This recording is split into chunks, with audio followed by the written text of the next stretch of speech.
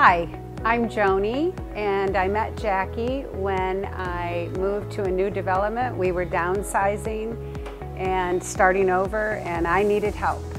And the sales agent recommended that I see Jackie and we met and she came to our home and we talked about everything and all of our needs and wants. We came to this amazing store. In fact, I'm sitting on the couch we purchased and the ottoman in front of me uh, her whole team has just been amazing. I didn't want cookie cutter. All of our neighbors have come in and seen our place. I've given out a million referrals. They're all happy.